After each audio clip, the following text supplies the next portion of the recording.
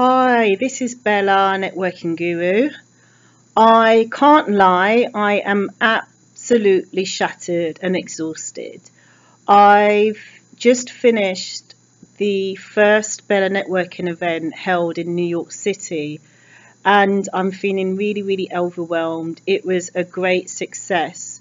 We had three speakers from London and three speakers in New York a variety of topics on market research, immigration, franchising.